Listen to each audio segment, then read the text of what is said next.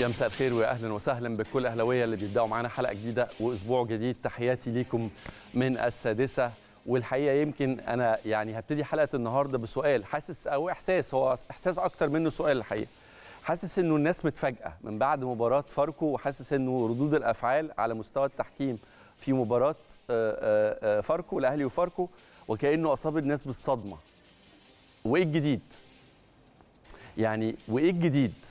خليك فاكر بس كويس جدا إنه حتى وإنت في أحسن في أسوأ حالاتك حتى وإنت مش في مستواك حتى وإنت فرقتك بتعاني من من غيابات ومن إصابات ومن إجهاد كان مفترض وأنا بكلم حضراتكم النهارده تبقى فرصتنا في المنافسة على البطولة قائمة حتى وإنت مش في أحسن حالاتك.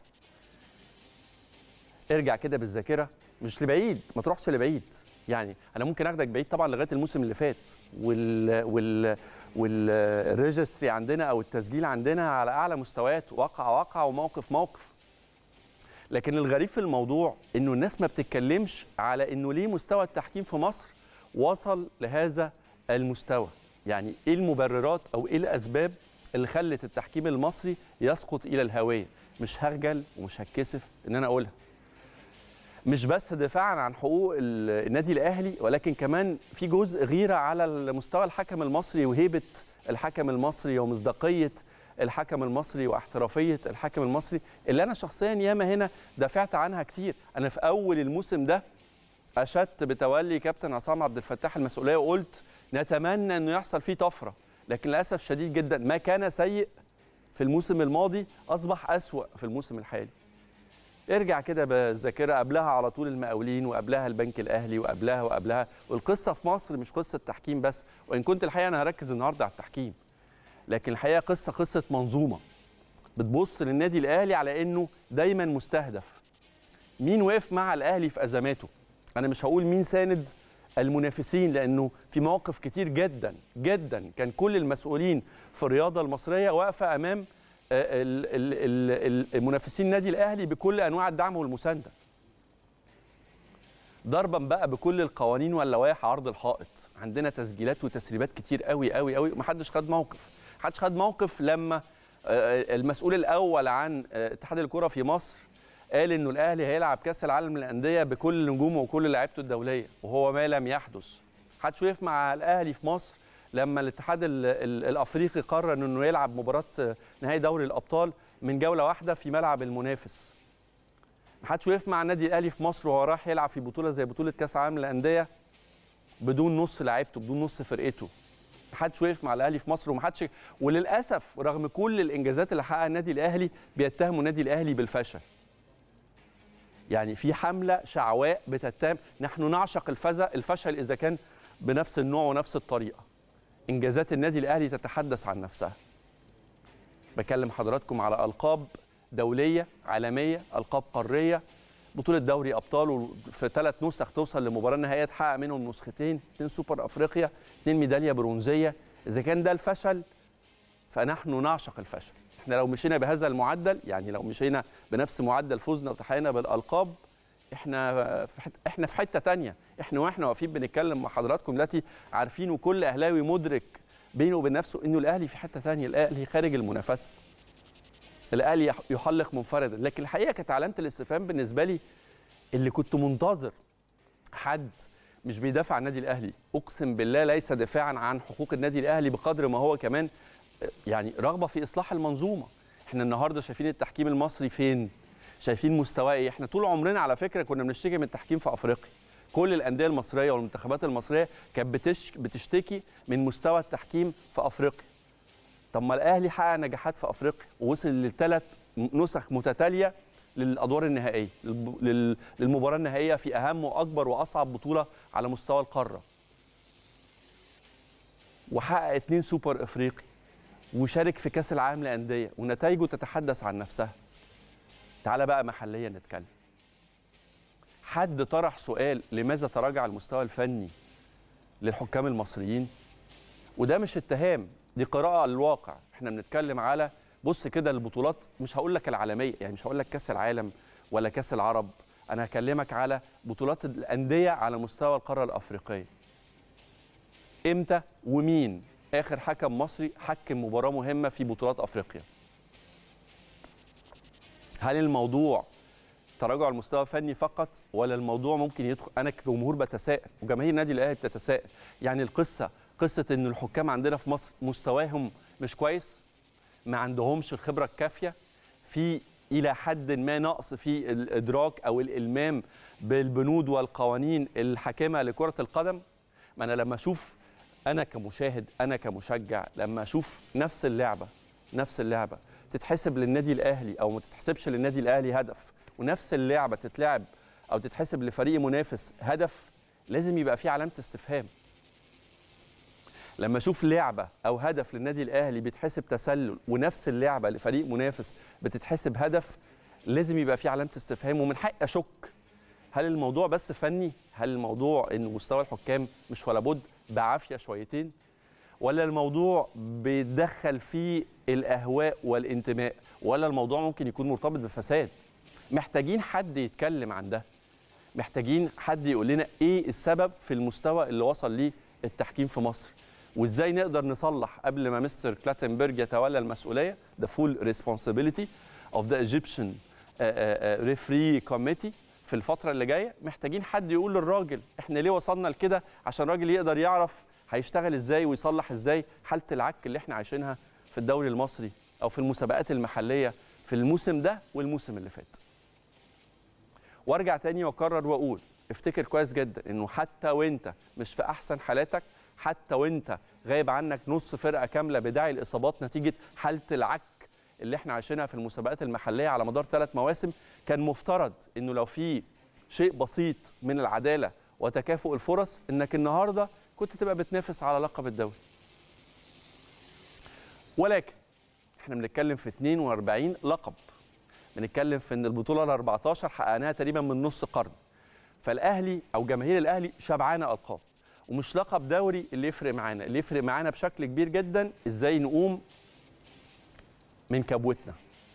وأعتقد إنه أتمنى يعني لو رسالتي توصل ل المسؤولين في النادي الأهلي سواء كنت بتكلم عن مجلس إدارة أو شركة كرة قدم أنا بيتهيألي إنه إحنا علينا إن إحنا نتعامل مع الموسم المقبل على إن إحنا هنواجه نفس العقبات ونفس التحديات. ما نتوقعش أو ما نراهنش على إنه هيبقى في فارق أو إنه في تحسن. لا على مستوى تنظيم المسابقات ولا على مستوى التحكيم. وعلينا إن إحنا نجهز فرقتنا إنها تكون قادرة إنها تتعامل مع الفريق المنافس والقائمين على المسابقات في مصر ومنظومة التحكيم ولجنة الحكام يعني اعتبر نفسك مش بتنافس فرق كورة تعتبر نفسك بتنافس قائمين على تنظيم المسابقات وبتنافس الحكام اللي موجودين معاك في كل مباراة وإذا أمكن إن إحنا نعتبرها واحدة من الصفقات المحترفين. يعني يعني إحنا الأهلي الحمد لله يعني عنده القدرة إنه قدرته على الإنفاق فيما يتعلق بكرة القدم واحدة من افضل واحد من أفضل الأندية القارية والمصرية إذا اعتبرنا إن إحنا نحط بند إن إحنا على الأقل مبارياتنا إحنا نستعين فيها بتحكيم أجنبي ونعتبرها واحدة من الصفقات الاحتراف مفيش مانع. بدل ما ندفع ضريبة غالية جدا لأنه الفاتورة الحقيقة كبيرة ومحدش بيسأل مين هيحاسب على فاتورة خسارة النادي الأهلي للقب بفعل فاعل ما عندناش مانع على الإطلاق وعارفين ومتفاهمين تماما إنه أي فريق في الدنيا ما يقدرش ياخد كل البطولات اللي هو بيلعبها. مفيش فريق يقدر يحقق ده. ومدركين تماما إنه في أسباب منطقية لقطاع عريض جدا من جماهير النادي الأهلي فاهمة الدوري السنة دي راح ليه؟ لكن الأهم بالنسبة لنا إنه ده ما يتكررش مرة ثانية قبل 24 ساعة من مواجهة الأهلي والاتحاد ويمكن رب ضاره نافعه زي ما بيقولوا. يمكن تكون فرصة إنه القرار طلع من إدارة النادي الأهلي إنها تكمل أو تريح اللعيبة الأساسية في الفترة اللي جاية و... وتدي فرصة للعيبة تلتقط أنفاسها. عل وعسى إن هم يستعيدوا جزء من مستواهم قبل بداية موسم بالمناسبة. يعني إحنا النهارده بنتابع دوريات أوروبا كلها بتبتدي. أنت الموسم عندك خلاص فاضل شهر تقريبا وترجع تبتدي في دايلاما جديدة. كان ممكن جدا نكمل وكان ممكن جدا يعني نحاول ننافس على اللقب لغاية آخر لحظة. لكن في النهاية كانت ممكن الفاتورة تبقى يعني أصعب وأعنف بكتير جدا. على كل الأحوال نتمنى إن شاء الله بإذن الله إنه من اللحظة دي يكون بداية التحضير للموسم الجديد. وفرصة فرصة اللعيبة اللي كانت بعيدة فرصة اللعيبة الصغيرة اللي طالعة وكنت أعتقد إنه هيبقى صعب جدا ياخدوا فرصة اللاعب في النادي الأهلي عشان ياخد فرصة إنه يلعب بس دي حاجة يعني يعني حاجة صعبة جدا. فبالتالي يمكن تكون ماتشات أو المباريات المتبقية من عمر الدوري فرصة لإفراز عدد من اللاعبين اللي يقدر مستر ريكاردو سواريش يقرر يدرسهم كويس ياخد فيهم قرار موضوعي كويس جدا ويشوف ممكن مين يكون إضافة يكمل وارد جدا على فكرة إن إحنا نكسب لعيبة في الفترة اللي جاية دي ومين ممكن يبقى بره سكواد النادي الأهلي لو على سبيل الإعارة أو البيع. لكن في النهاية أنت بتتكلم على عدد كبير جدا من اللاعبين. الموسم بالنسبة لهم انتهى خلاص بسبب الإصابات ولاعيبة قررت الإدارة إنها تديها تديهم أجازة لنهاية الموسم. منهم طبعا معلول قفشة الشناوي حمدي فتحي أيمن أشرف ياسر إبراهيم. كل دول خلاص الموسم بالنسبة لهم انتهى. وفي كلام يمكن كمان على ديانج مش عارفين القرار هيكون بالنسبة لأليو ديانج إيه لكن في النهاية فرصة اللعيبة دي تلتقط أنفاسها عشان ترجع جاهزة إن شاء الله بإذن الله. وفي 12 لاعب من ناشئي النادي الأهلي هيكونوا موجودين واثقين فيهم ورجالة وإن شاء الله يفرزوا عناصر تكون مفيدة للفريق. وفي منهم ستة كانوا موجودين بالمناسبة مع الفريق في فترات مختلفة زياد طارق فخري كوكا صالح نصر. ولعبوا معانا أو ظهروا جزء كبير جدا منهم حتى في ماتشات كأس الرابطة ونصير. وفي ستة تصعدوا جداد فبالتالي فرصة إن شاء الله لاكتشاف المواهب اللي نتمنى إن شاء الله يكونوا إضافة للنادي الأهلي في الفترة اللي جاية ويكونوا قد المسؤولية في المتبقي من عمر الدوري. الكلام على الأهلي والاتحاد خلينا نبدأ الحلقة بأهم العناوين. الأهلي يدخل معسكرا مغلقا اليوم استعدادا للاتحاد السكندري غدا في الدوري. وفحص طبي لكوكا عقب مباراة الاتحاد السكندري. الاتحاد الإفريقي يعلن موعد قرعتي دوري الأبطال والكونفدرالية. وعالميا صلاح يدخل تاريخ الدوري الإنجليزي بعد هدفه في فولهام.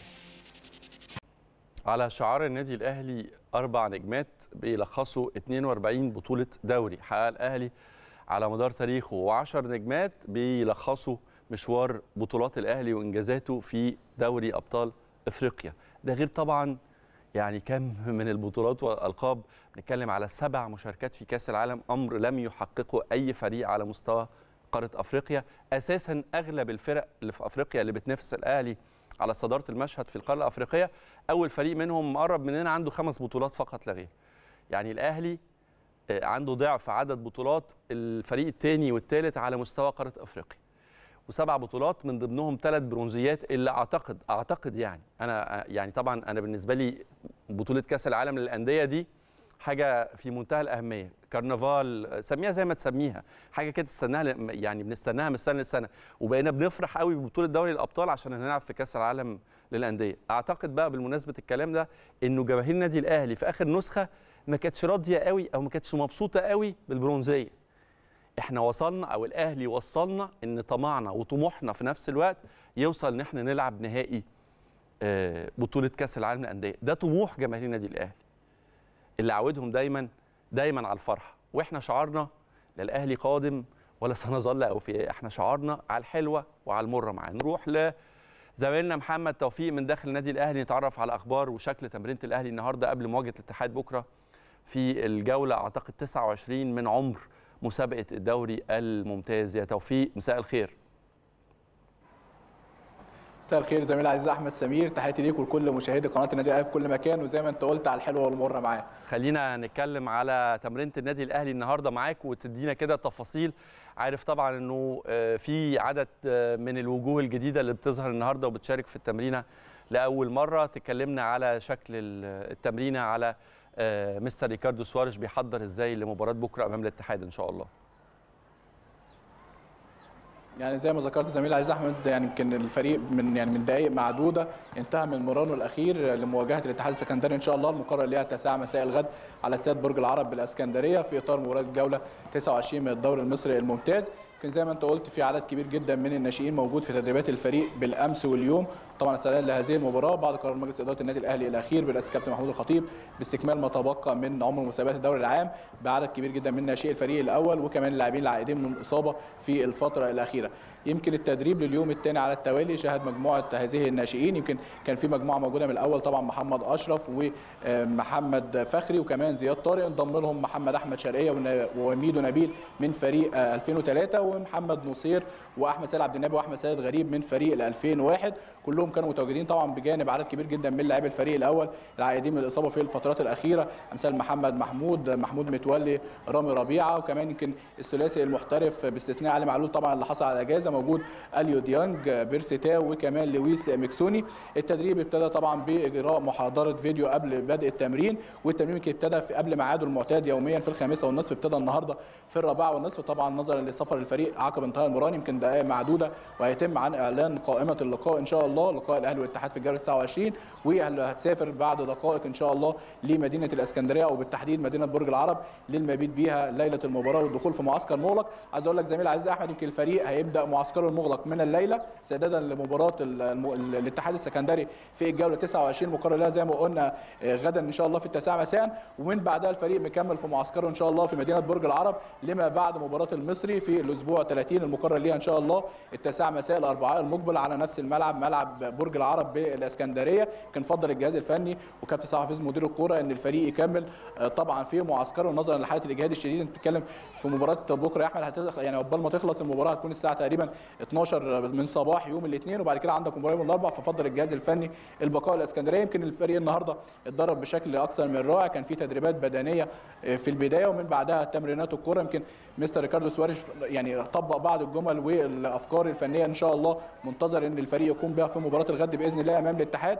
كل الأمور مهيئة كل اللاعبين في حالة جيدة. دايما زي ما بنقول الأهلي بمن حضر وإن شاء الله هذه المجموعة من اللاعبين تكون قادرة على تمثيل النادي الأهلي خير تمثيل. وإن شاء الله القادم يكون أفضل للنادي الأهلي ويرجع لمكانته الطبيعية في المقدمة دايما يا بإذن أحمد. الله إن شاء الله. كلنا ثقة بإذن الله. الأهلي عودنا دايما إنه الكبير يمرض ولا يموت. الأهلي طول عمره كبير وبيقوم دايما من كبواته أقوى دايما من الأول. بشكرك شكرا جزيلا زميلنا العزيز محمد توفيق. دي كانت أخبار تمرينة النادي الأهلي النهارده. وخليني أقول لكم عشان برضو يعني نحط الأمور في نصابها الصحيح مش معنى إنه إدارة النادي لما قررت إنها تدي راحة للاعبين الأهلي المجهدين الحقيقة واللي تحملوا فوق طاقتهم في المواسم الثلاثة الأخيرة إنه آه، إن إحنا يعني مش مش هنلعب كورة. بالعكس أنا شايف إنه الشباب ده لما ظهر جزء كبير منهم في كأس الرابطة كلهم الحقيقة عندهم إمكانيات وعندهم شخصية لعيبة النادي الأهلي فالرهان عليهم والفرصه قدامهم. أتمنى إن هم يستغلوها أفضل استغلال ويقدموا الأهلي أو يعني يظهروا مع الأهلي بشكل الحقيقة كويس.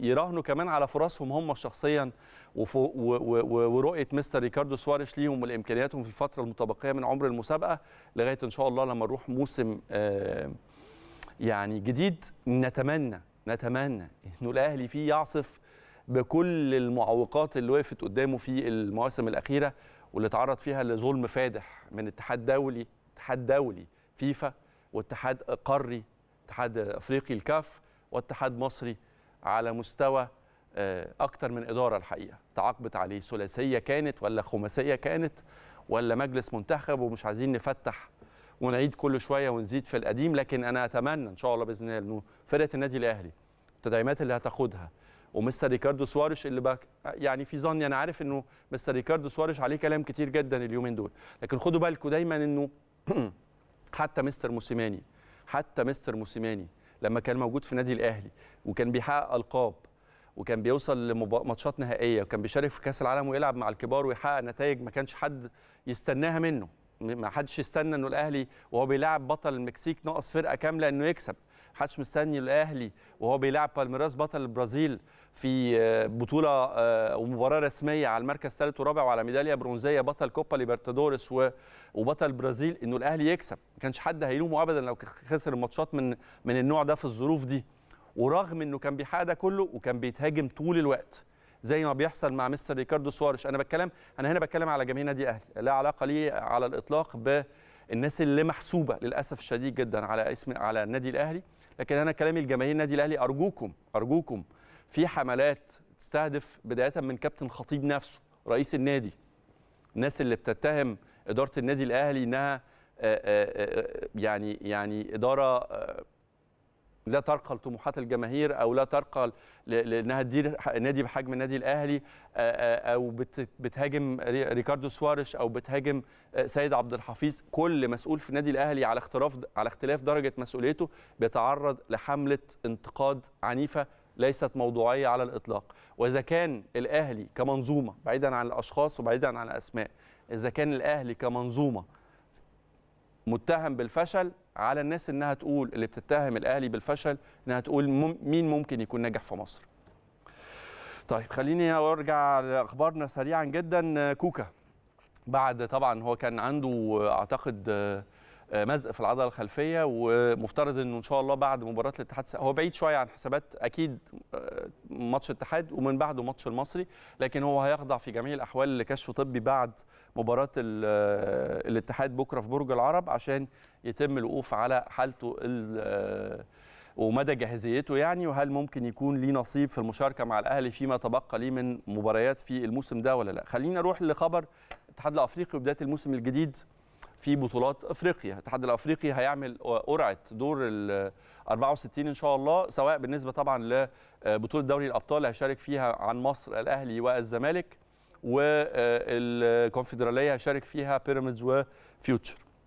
القرعه إن شاء الله تعمل في القاهرة يوم الاثنين الساعة 1 الظهر وتم تحديد مواعيد المواجهات الخاصة بالبطولتين فيما يتعلق بدوري الأبطال. هيكون البداية من 9 ل 11 سبتمبر ده دور ال 64 والمرحلة دي أو الدور ده مش هشارك فيه الأهلي والزمالك عن مصر طبعا لأنه عندهم تصنيفهم بيقولوا إن هم يبدأوا على طول من دور ال 32 أما ماتشات دور ال 32 اللي هتكون بداية مشوار أفريقيا بالنسبة لنا فتحدد ليها مواعيد من 7 ل 9 أكتوبر وماتشات العودة هتكون من 14 ل 16 وإن شاء الله بإذن الله من بعدها يتحدد مواعيد دور المجموعات. فاصل ونرجع لحضراتكم مرة ثانية في السادسة.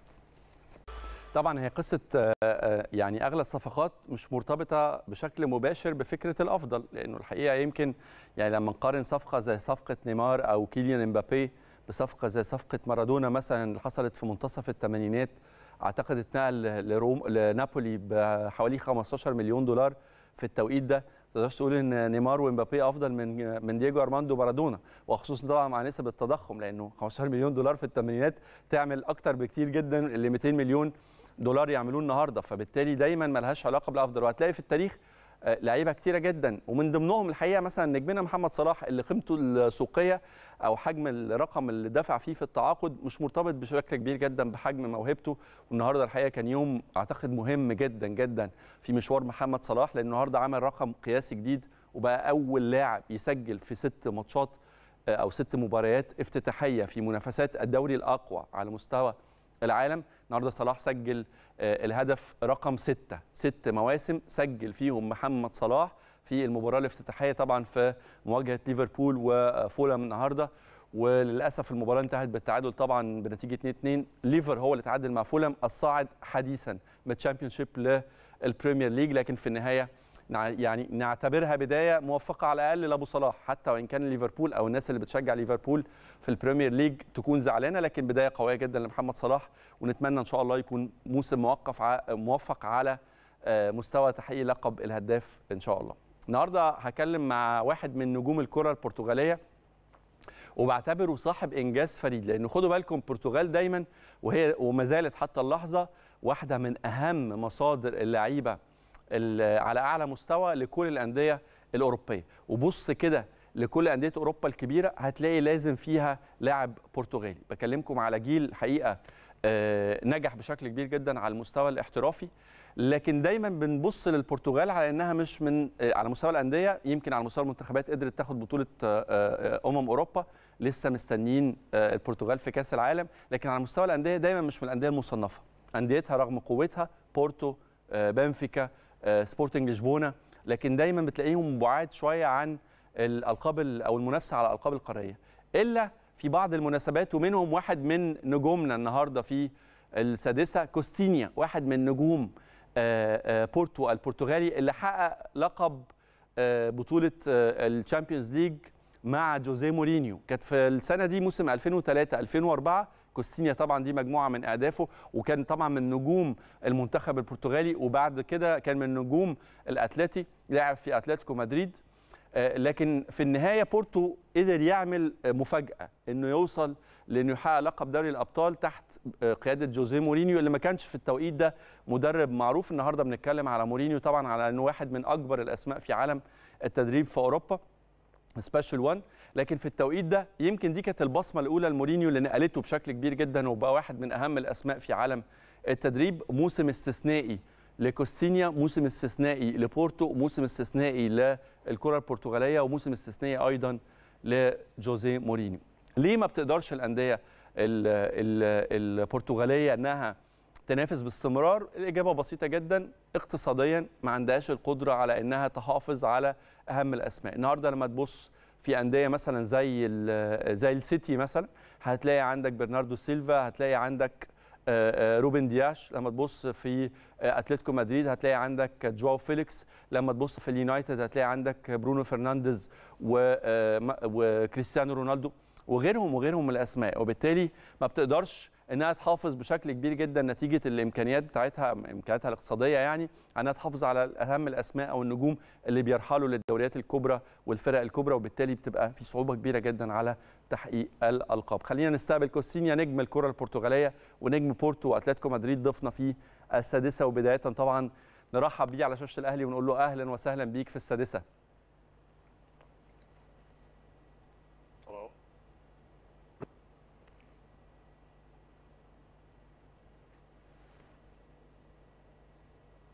هل هل الصوت واصل لك بوضوح؟ صوتي واصل لك؟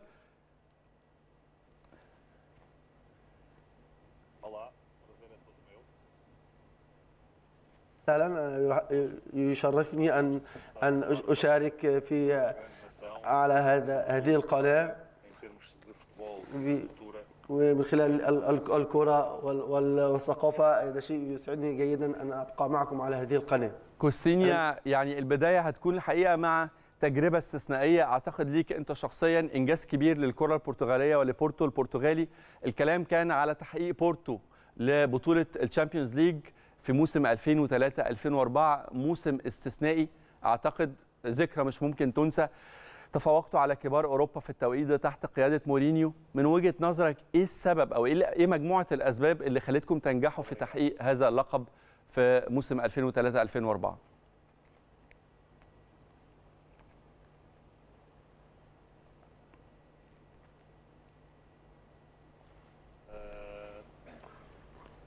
Tem sempre bons jogadores. دائما الكرة فيها لعيبة ممتازين وأيضا مدربين ممتازين وتنتهي دائما بنهايات بمنافسة جيدة ودائما القدرة على تحقيق النجاحات دائما. يمكن قبل ما ادخل معاك في ملف الكرة البرتغالية إحنا يمكن هنا في مصر كان لينا نصيب مع عدد من المدربين البرتغاليين سواء على مستوى الأندية أو المنتخبات في الفترة الأخيرة. هبدأ بالمنتخبات بعد فترة فترة تولى فيها مستر كارلوس كيروش المسؤولية. رحل كيروش وأتى روي فيتوريا. إزاي قيمت أو إزاي شفت تجربة كارلوس كيروش؟ وهو بالتاكيد واحد من من أهم وأكبر الأسماء في عالم كرة القدم إزاي قيمت تجربته وإيه توقعاتك أو رؤيتك لمستقبل روي فيتوريا مع منتخب مصر؟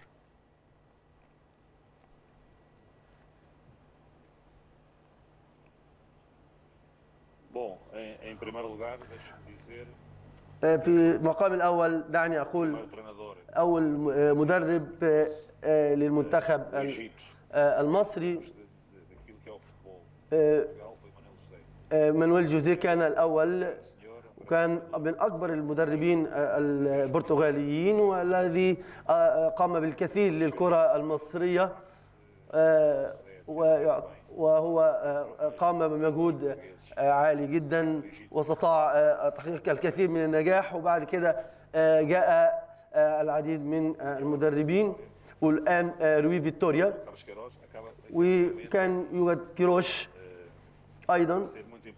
وكان مهم جدا. آه، أما بالنسبة لروي فيتوريا فهو من أهم آه، آه، المدربين. وكان جيدا في المنتخبات في المنتخب البرتغالي. وأنا أعتقد أنه سوف يحقق الكثير للكرة المصرية وسوف يستطيع تحقيق الكثير من النجاحات من خلال المنافسات الأفريقية. ومحاولة الوصول آه، للمونديال أيضا وهو المهم جدا وأعتقد آه، العديد من هذه المواقف آه،.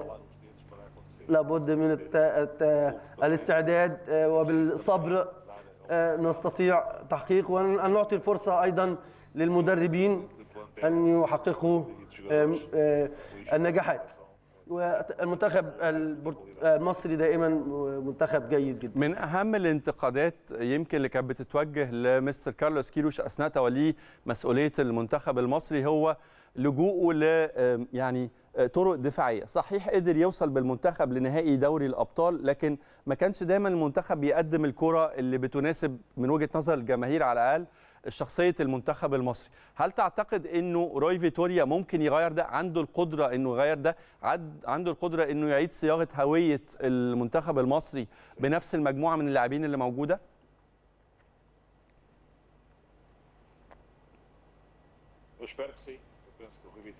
أن روي فيكتوريا vem eh, آه،. آه، سوف يحاول آه، تحقيق النجاحات والبطولات من خلال آه، آه، آه، هذا المدرب المحترف ووجود لاعبة في الأمام في الهجوم من المهم جدا. ولابد أن يكونوا لاعبين مميزين وأيضا من المهم آه، أن نكون آه، عندنا من المدافعين الجيدين. jogar إذا الفريق آه، مش فقط آه، ليس فقط ال- الهجوم ولكن أيضا الدفاع. وإذا لم يكن الفريق آه، مستعد آه، بشكل عام ومنظم آه، آه، لا يستطيع تحقيق النجاحات. فلكي يستطيع التقدم لابد آه، أن يعتمد آه، على آه، جميع المهارات وفي ال- في الهجوم والدفاع. قبل استقبالك على الهواء كنت بتكلم على عدم قدرة الأندية البرتغالية على الحفاظ على نجومها. وبالتالي السؤال إمتى ممكن نشوف فريق برتغالي أو نادي برتغالي على منصة تتويج على مستوى بطولات أوروبا مرة ثانية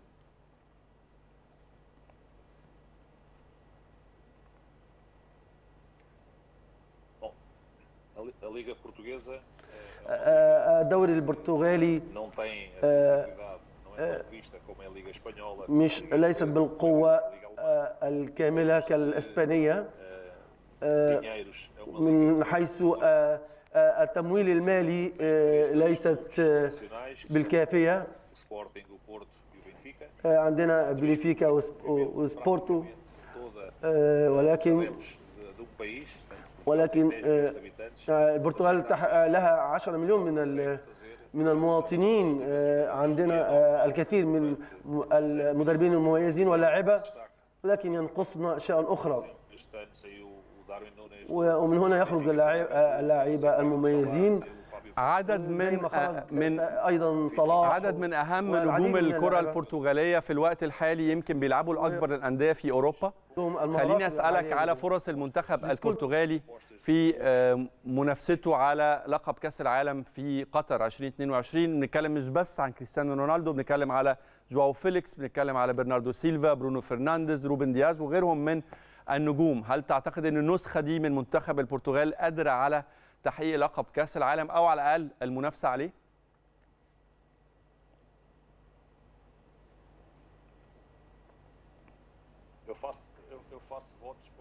Aconteça. أنا آه، آه، أميل إلى أنه سوف يستطيع تحقيق هذا. له عنده الكثير من اللعيبة آه، المميزة وأنا آه، أشجعهم زي فرنانديز وكريستيانو والعديد من اللعيبة وبيدرو نيتو وجوكينيو العديد من اللعيبة.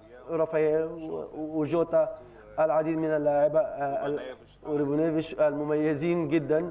آه، في يوجد الع- ال- ال- اللاعيبه الكبار جدا في المنتخب البرتغالي وأعتقد آه، وأشجع وأنا شخصيا. آه، أتمنى أن أرى هذا الفريق وهو بالمونديال وهو يحقق ال- ال- اللقب. كوستينيا نجم المنتخب البرتغالي طبعا وبورتو الجيل اللي حقق بطولة دوري أبطال ونجم أتلتيكو مدريد. بشكرك شكرا جزيلا على مشاركتك معنا في السادسة. فاصل ونرجع لحضراتكم. يعني واحدة من من مكاسب المرحلة اللي جاية اللي تبتدي من بكرة من ماتش الاتحاد مش بس فكرة إنك أنت تدي راحة تدي فرصة لنجوم النادي الأهلي ال- المجهدين والمرهقين إن هم يلتقطوا أنفاسهم. لكن فرصة كمان لاكتشاف المواهب واللاعبين الشباب فرصة من لمستر ريكاردو سوارش إنه يلتقط أنفاسه شوية بعد حالة الضغط والتوتر. الفريق كله الحقيقة اللي كان فيه مرحلة ضغط وتوتر شديدة جدا في الفترة الأخيرة كانت بالتأكيد ليها جزء من ال... النهارده بنتكلم على إن إحنا نلعب كورة وناخد راحتنا ونكتشف مواهب ومستر ريكاردو سواريش يبتدي يبص الأمور بنظرة مختلفة شوية بعيدا عن ضغط المنافسة وبعيدا عن التوترات المرتبطة الحقيقة آه، بالتحكيم وبسوء تنظيم المسابقات. خلينا نتكلم على اللي جاي. ونرحب بضيفنا النهارده كابتن سعيد عبد العزيز واحد من نجوم النادي الأهلي اللي بيشرفونا النهارده في السادسة مساء الخير كابتن سعيد. مساء النور أستاذ أحمد. منور. الدنيا وحشنا. ده أنت اللي حضرتك منور ودايما وحشني والله. أخبارك إيه؟ تحب نبتدي منين؟ نبتدي من اللي فات بشكل عام. مش عايز أخش في التفاصيل لأنه التفاصيل كتيرة قوي. بس يعني يمكن من ساعة ما تولى مستر ريكاردو سواريش المسؤولية وانتقادات كتيرة جدا متوجهة ليه هو شخصيا متوجهة لأداء اللعيبة آه، آه، متوجهة لأسماء نجوم بعينهم. شفت المرحلة الأخيرة دي إزاي يا كابتن سعيد؟ طيب هو كده هيخلينا أستاذ أحمد نرجع بس ورا يعني قبل شوية. كده كمان آه شوية. طبعا طبعا آه. عشان بس نجيب بس الأمور إحقاق طالما هنتكلم بالحق. إحنا تمام. في قناة يعني معروفة إنها لازم تتكلم فيها يبقى فيها مصداقية في الكلام. اتفضل. وأنا جاي متعمد إن أنا أتكلم أقول اللي أنا شايفه كلاعب كورة وكجمهور. تمام. آه، اولا آه، هبدأ بكابتن محمود الخطيب. مم. آه، كابتن محمود الخطيب آه، أسطورة من من أساطير كرة القدم اللي ما يختلفش عليها سواء كان أهلي أو زمالك ودي طبيعة زي زي كابتن فاروق جعفر كابتن حسن شحاتة في رموز. مم. فما ينفعش إن أنت كابتن محمود الخطيب آه، يتوجه له أي انتقاد لأن الراجل بيتعامل مع الناس كلها سواسية الناس كلها بتتعامل معاه يعني تحس إن هو كأب ليهم سواء اللعيبة أو الجهاز أو الجمهور أو العمال. عامل حالة كويسة جدا أدى دوره هو مجلس الإدارة كدور إداري. سلم الفرقة كدور فني لمستر موسيماني وأنا عايز أبدأ بس بمستر موس- موسيماني. أيوه. عشان في ناس كتير اختلفت عليه. الراجل كان كويس وكان لازم يكمل والراجل لأ مش فإحنا عايزين بص يا كابتن سعيد من أول بص أنا حضرت مرحلة موسيماني من من من من أولها لآخرها. من 1 أكتوبر 2020 من 1 أكتوبر 2020 من مباراة الدور قبل النهائي في بطولة أفريقيا التاسعة اللي حصل عليها النادي الأهلي أمام الوداد في المغرب. تمام. تمام؟ دي كانت تمام. بداية توليه المسؤولية. تمام.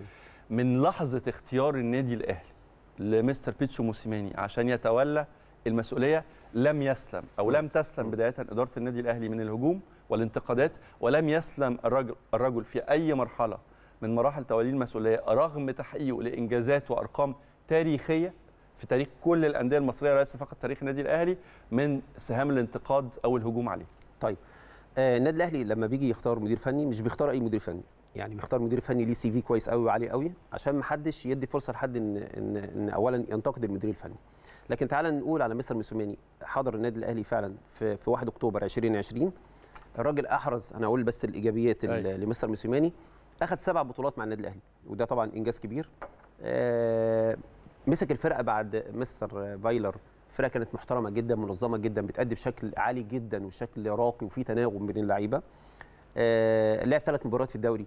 على ما اتذكر المقاولين وانبي وفاز فيهم وتعادل- كان الدوري تقريبا محسوم. محسوم آه. وبيراميدز اتعادل وأخدنا بطولة الدوري.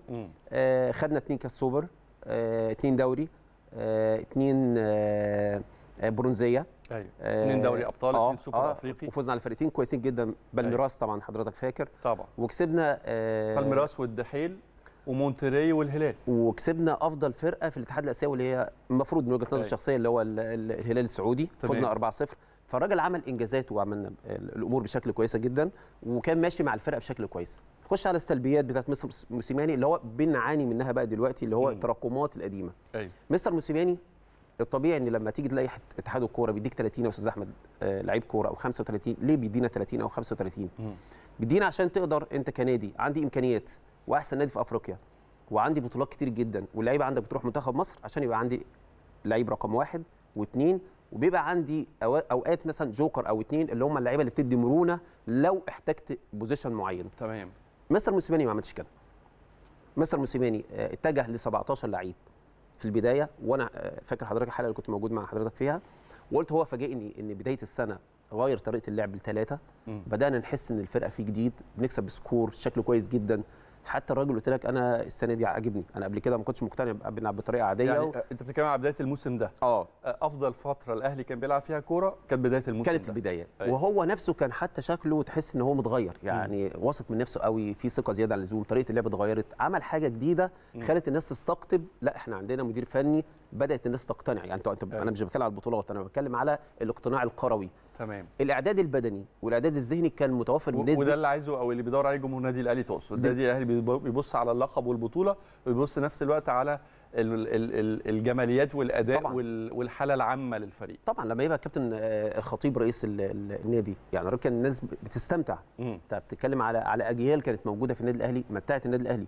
يعني أنا بتكلم على التناغم اللي هو ال- يعني يعني خلينا نتفق عشان ما أخدش وقت كبير في الحتة دي. إنه أعلى مستوى لكيرف الأداء اداء ونتيجة وارقاما وبطولاتا.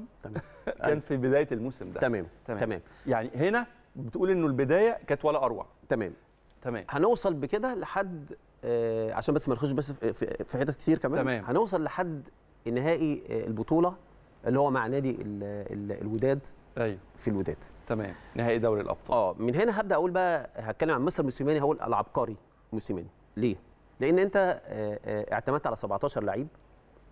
آه، عندك عملية الروتيشن اللي كانت بتتعمل ثلاث أيام. هو راجل جاي عارف إنه بيلعب في النادي الأهلي مطالب منه ياخد بطولة. لأن النادي الأهلي بيضيف للمدرب مش المدرب اللي بيضيف له. يعني أنا بقول لما أتكلم على مستر موسيماني إحنا اتكلمنا على الإنجازات اللي هو عملها سبع بطولات. فبنعد إن الراجل استفاد من النادي الأهلي. لما ال 17 لعيب دول هم اللي يلعبوا كل الماتشات وانت ما عندكش هقول البديل أو البديل الكفء لا كان عندك البديل الكفء بس كنت انت المفروض تعمل عملية التدوير. وأنا مش عايز أتكلم عن فرق تانية بس هك يعني لازم الكلام هيجيب بعضه. أيوه آه آه ما عملش حتة ال- ال- ال- التغيير كويس. ال rotation ما كانتش على أعلى على أعلى مستوى. قدر من الكفاءة مع مستر موسيماني تمام. وده سبب آه، حالة الإجهاد وتراجع المستوى اللي في الفترة اللي اللي إحنا تسلم فيها كابتن. سامي قمصان ومن بعده ريكاردو سواريز. تمام. أخدنا للأسف للأسف هو أخدنا في حتة تانية خالص وللأسف ساعده الإعلام إن إحنا عندنا ماتشات مؤجلة في الدوري مم. نركز شوية في بطولة أفريقيا ده, ده أهم بالنسبة لي ده مستر مس... أنا بقول. بقى العبقري موسيماني. وجه الإعلام بتاعنا المصري ووجه اللعيبة إن إحنا آه، الدوري إحنا ملحوق ممكن نلحق نرجع نظبط أمورنا لكن الأول ناخد البطولة تمام لما اتعمل الماتش في الوداد الدنيا اتقلبت بدأت اللعيبة دلوقتي نفكر آه، الماتش هناك ضغوط رغم إن أنت لسه لسه لعب قبلها بأسبوع مع فرقة الرجاء تعادلت هنا مم. ورحت تعادلت هناك صح؟ كانت نفس الضغوط ونفس الجمهور؟ هنا. كسبت كسبت 2 هنا 1 هنا ورحت اتعادلت هناك تمام. 1 1 نفس الأجواء نفس القصة. طيب من إمتى النادي الأهلي بيفرق معانا الملعب؟ إحنا بنروح قطر والإمارات بنكسب الزمالك بنكسب فرق كبيرة جدا. في في في, في, في سواء أمريكا اللاتينية بنلعب فرق كبيرة وبنكسبها. الفرقة راحت مشتتة. ذهنيا أدي رقم واحد. يبقى العامل النفسي ما كانش موجود. مم. إلى جانب الفرقة مرهقة جدا. كل ثلاث أيام ماتش مسافر مضغوط. فبالتالي كانت نتيجة طبيعية جدا إن أنت تلاقي يعني ستة أو سبع لعيبة يعني مش هنقول ابتداء من الشناوي أكتر من لعيب خمسة أو ستة لعيب آه، يعني out of form. بره الماتش مش خالص. في مستواهم. مش في مستواه وده كان أمر طبيعي جدا. بعد البطولة من حقه إن هو يقعد ياخد البرو ويزود من من آه، من ال CV بتاعه. ده طبيعي. اتصورت عشت امورك جيت القاهرة بتضغط على النادي. أنا بقول هنا ال ال ال كانت الفيصل إن أنت وأنت موجود في القاهرة ما نزلش التمرين. تمام كده؟ ورغم كده كابتن الخطيب طبعا كان مصمم إن هو يبقى موجود في التمرين هو طبعا ما- حضرش التمرين. فبالتالي آه، قاد التمرين في الوقت ده سامي قمصان. حصل هنا موضوع ال- ال- اللخبطة وأنا شايف إن دي كانت البداية اللي موجود عليها النادي الأهلي دلوقتي. مم. سامي أدى بشكل كويس. أنا كنت شايف من وجهة نظري الشخصيه إن سامي يكمل بقية ال- ال- الموسم؟ الموسم لأن إحنا مستر ريكاردو تقريبا لها وعليها. يعني خليني أقول يعني أنت ممكن تبص لها من أربع خمس وجهات نظر كل وجهة نظر فيهم محترمة جدا. مم. فرصة للراجل إنه يكمل الموسم فبالتالي ما يبتديش من الأول خالص وأنت داخل على موسم جديد مش محتاج تضيع فيه وقت. كويس. فخد كمل الموسم شوف الفرقة بمشاكلها بمستوى الإرهاق بتاع اللعيبة بحالة الإج... يعني شوف وقيم واشتغل واللي تقدر تعدي بيه أو تحسنه واشتغل عليه ما تقدرش.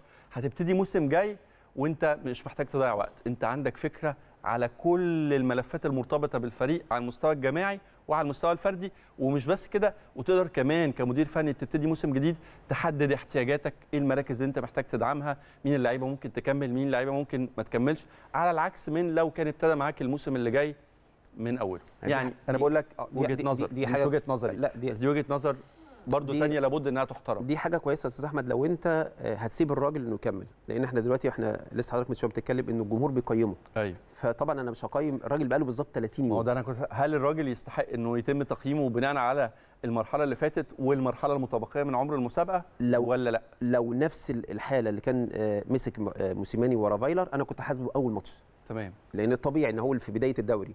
اللعيب من ال ال هبدأ أحاسب المدرب من أربع لست ماتشات. لكن أنت دلوقتي أنت في نهاية موسم. فالطبيعي أنت استلمت اللعيبة كلها منهارة بدني وذهني. إلى جانب أنت ما عادش عندك الحافز. ليه؟ لأن عندك المنافس التقليدي بتاعك بيكسب.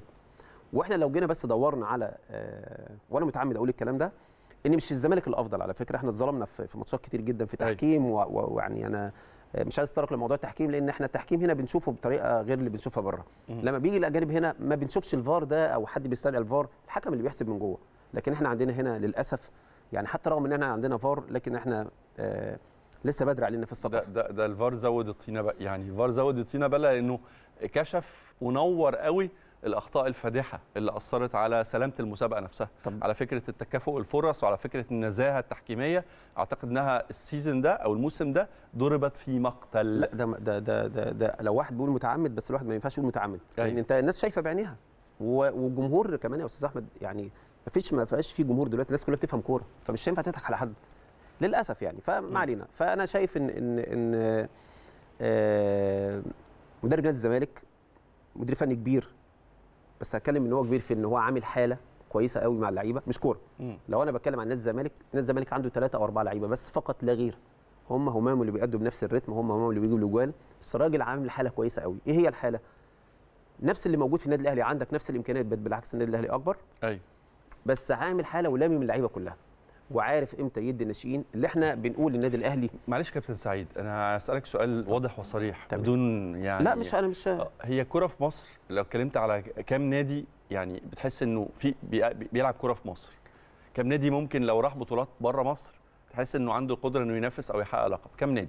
يعني لا هنقول بالترتيب فيوتشر آه. بيظهر بشكل كويس. بيراميدز. تمام. بشكل كويس. تمام. آه والأهلي والزمالك؟ الأهلي طبعا الأهلي والزمالك دول طب يعني طبعا. في حي... في حد تاني؟ الباقي كله سواسية. آه إيه- إيه إيه الإنجازات اللي اتحققت للكرة المصرية على مستوى الأندية على مدار الثلاث أربع مواسم الأخيرة؟ ولا أي حاجة. غير الأهلي؟ لا لا ما أنا ما أنا بقول لك يعني لا بتكلم على مستوى الأندية. آه. يعني مين حقق إنجازات بره حدود الوطن؟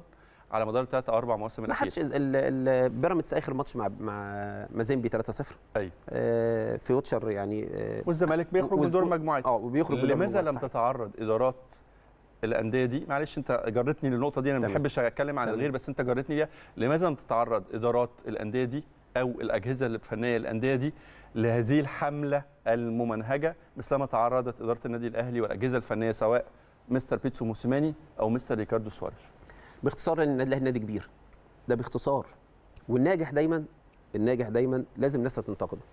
والنادي الأهلي بالنسبة مش مش مش لنادي الزمالك بس أو الأندية الثانية مش هنقول الصغيرة كل الأندية كلها انديه أندية كبيرة. الانتقاد ليه ليه أسس وقواعد وشروط يا كابتن سعيد؟ آه، تعدت اهمها آه. أهمها إن يكون في موضوعية في في الانتقاد ده. يعني انت هو هي مش في فرق بين إنك أنت تنتقد عشان تصلح وإنك أنت تنتقد عشان تكسر تهد. تهد تهد. يعني في فرق كبير جدا والحقيقة طول الوقت والأهلي بينجح بره مصر يعني مش هتكلم على جوه مصر م. إنه جوه مصر في عوامل كتيرة جدا بتتدخل في في الأمور آه، اتحادات آه، لجان آه، تحكيم كلها الحقيقة كانت ليها دور سيء جدا في في السنتين ال- الأخيرتين دول على مستوى مسابقات مصر لكن وأنت بتنجح بره يعني أعتقد إنه ده دليل واضح وصريح على نجاح رؤية الإدارة على نجاح عناصر الجهاز الفني على نجاح وقدرات الجيل ده من اللاعبين. اللي حقق الحقيقة في ظل ظروف قاسية يعني إحنا بنتكلم على مانويل جوزيه وبنتكلم على جيل متعب وبنتكلم على جيل تريكا طبعاً، وصح. طبعا. ال- الجيل ده ما تعرضش لنفس الظروف اللي تعرض لها آه، آه، آه، الجيل الحالي. كان بياخد فترات راحة كان بيبقى معاه جمهور في المدرجات كان كل سنة بيبقى فيه فترة إعداد. يعني أقصد أقول اللي حصل ده ما حصلش كمان في ظروف طبيعية ده حصل في ظروف استثنائية كل الناس في مصر عارفاها. آه كلامك منطقي وطبعا يعني ده بالعكس أنا ما بعرفش أرد عليك ده أنت كده قلت كل حاجة. أيوه. بس هو أنا شايف إن إن كل فترة وليها وقت يعني يعني كل فترة كده ليها وقتها. آه، إحنا الدوري بتاعنا مثلا ما كانش لسه في كأس عالم أندية ما كانش في آه، أيوه. كأس سوبر ما كانش فيه يعني حاجات كتيرة ما كانتش موجودة أو كانت بتتلغي. فكان عندك وقت طويل جدا إن أنت ممكن تعد فرقتك بشكل ما كويس. كانش في social media ما كان ما بص أنا والله والله ما كانش في والله social media والله هي دي من عوامل ال- يعني للأسف وكمان للأسف يعني معلش أنا يعني آه، أنا جاي أقول النه- النهارده صراحة مش بعض بعض بعض الإعلاميين. والله يا أستاذ أحمد يعني للأسف بتاخد الناس بتوديها لحتت بمزاجهم هم. يعني آه، النهارده لازم نقلب شوية على كذا فهناخد الدنيا. لكن النادي الأهلي نادي كبير فلو النادي الأهلي مش كبير مش هيبقى ليه حد دايما الناجح ليه فاشل يعني الفاشل ده بيدور بيدور وراك لازم يدور وراك عايز يوقعك لكن بالطريقة دي بال- بالقصة المنهجة دي لا لا ده انت في حد معين بيرتب الأمور عشان يهد النادي الأهلي. لكن النادي الأهلي آه لما أصدر قرار إن اللعيبة دي تريح نلعب بالناشئين ولأن الناشئين طبعا أثبتت وجودها في في كأس الرابطة. أيوه. قرار آه، يعني عايز أقول قرار عبقري. إن إحنا نكمل بالناشئين بتاعتنا لأن إحنا عندنا آه، ناشئين كويسين جدا. تفوق الناشئين في- موجودين في أندية تانية. مم. آه، أنا شايف إن الفترة الجاية آه، بمكسب أو مكسبين للنادي الأهلي مع مستر ريكاردو الأمور هتتظبط تاني. لأن النادي الأهلي يا جماعة ال- ال- الأسد يمرض لكن فعلا بيقول لك. لا يموت ودي حقيقة فعلا. النادي الأهلي نادي كبير وطبيعي جدا. خد بالك أقول لحضرتك على حاجة. أيوه.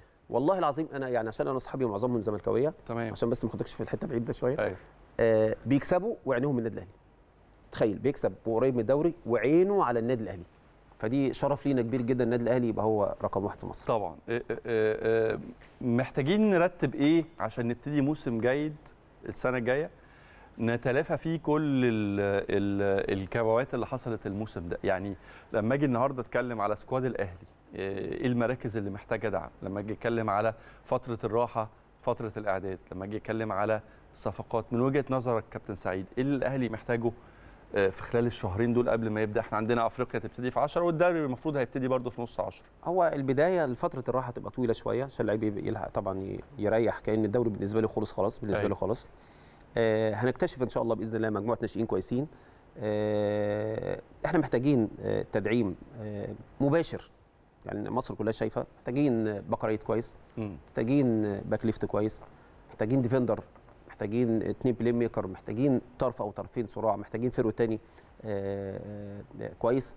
أنا بس عايز آخد آه، كلمة كان بعض ال- ال- الهجوم على وليد سليمان وبعض اللعيبة اللي ما بتلعبش يقول لك طالعه من الثلاجه أيوه. يعني إيه كلمة على ثلاجه فكرة وليد كان من أفضل اللعيبة اللي اجادت جد بشهادة الجمهور ده مش رأيي برضو يعني إحساسي أو الردود الأفعال على المستوى اللي قدمه وليد في كل الماتشات اللي شارك فيها كبديل آه، كان من يعني طول كان عمره نجم كان نجم المباراة. طول عمر وليد كده. لأن هو وليد عنده آه، الأهلي مش مش شيرت الأهلي قلب. أيوة. فأنا بتكلم على ال- ال- ال- اللفظ نفسه إن أنت بتطلع لعيبة من الثلاجه فده أنا باخد ال- ال- الجمل اللي اتعملت واتمنهجت بشكل مش مظبوط عشان تدمر لعيبة النادي الأهلي. لكن كل اللعيبة اللي موجودة في النادي الأهلي تستحق إنها تبقى موجودة في النادي الأهلي لكن ما أخدتش فرص أو أخدت فرص في وقت مش كويس. لكن أنت دلوقتي عندك الراجل عندك مساحة وعندك وقت طويل جدا. آه، إحنا محتاجين آه، يعني مش أقل من ستة سبعة لعيبة عشان تقدر تغير جلد الفرقة. محتاجين.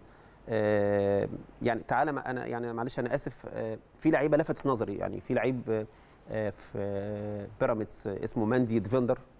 حاجة يعني إحنا ما ضفناش لعيبة من أفريقيا كويسة. آه، بيرسي تاو عندك أحسن defender في مصر عندك أليو ديانج يعني واحد لا ديانج ده يعني بس هو آه. ماشي خلاص مش موجود معاك أيوة. فأنا بتكلم على defender defender defender defender يلعب ال- الفرقة آه. محتاج اتنين لأن ممكن الراجل ما يلعبش ب defenderين زي ما طب خليني أسمع منك رأيك في الأسماء اللي تألقت الموسم ده في الدوري أسماء لعيبة لفتت نظرك بس خليني أروح تسمح لي هروح لفاصل ونرجع نكمل كلامنا مع ضيفنا ونجمنا النهارده كابتن سعيد عبد العزيز هي والله أنا لسه بدردش مع كابتن سعيد. فكرة التقييم. التقييم عندنا بيتم على أي أساس؟ أنا عارف إن جمهور الأهلي حالة خاصة. وعارف إن جمهور الأهلي ما بيتنازلش وبيزعل قوي رغم إنه بيفوز. يعني هو صاحب الرقم القياسي. تاني أعلى نادي على مستوى العالم حقق ألقاب وأول نادي على مستوى مصر وأفريقيا والوطن العربي تحقيقا للألقاب. فبالتالي أنا متخيل إن الجمهور شبعان بطولات.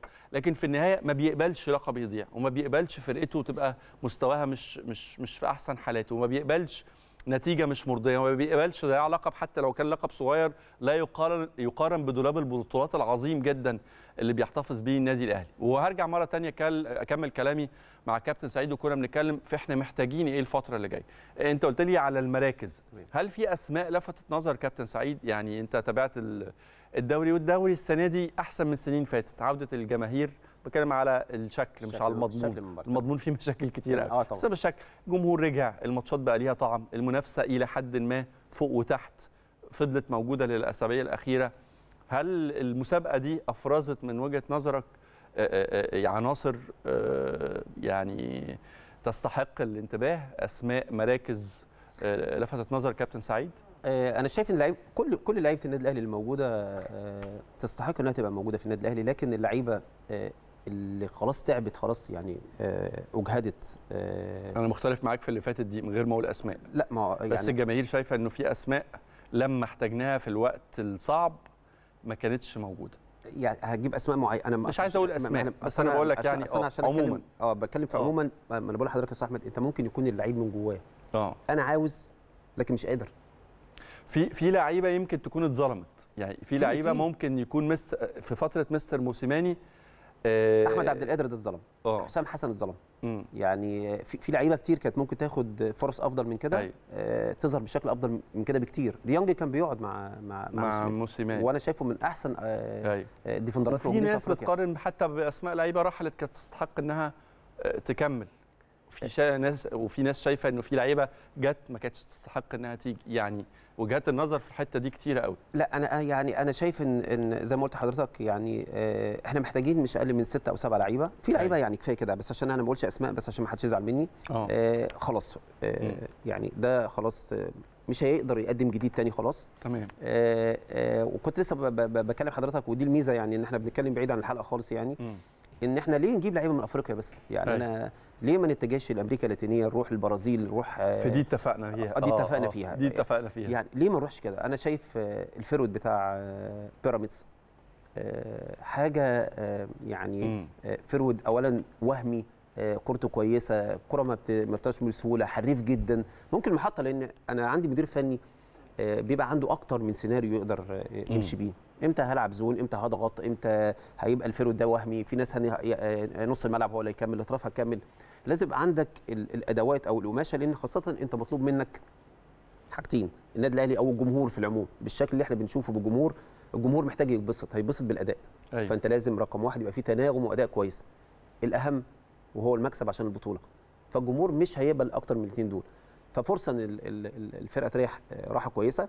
آه، على فكرة يمكن في لعيبة كتير والله أنا مشفق عليها يعني آه، السولية ده أنا مشفق عليه جدا يعني واحد. حمدي فتحي نفس حمدي. فتحي ما هو السوليه وحمدي بصراحة أكتر اتنين يعني استهلكوا. يعني أنت أخدتهم من كأس أمم أيوة. على ماتش السنغال خد بالك الضغوط. كأس عرب الأول. كأس عرب. ما أنا كأس أمم. عد على ماتش كأس عالم. أيوة. على كل ثلاث أيام ماتش.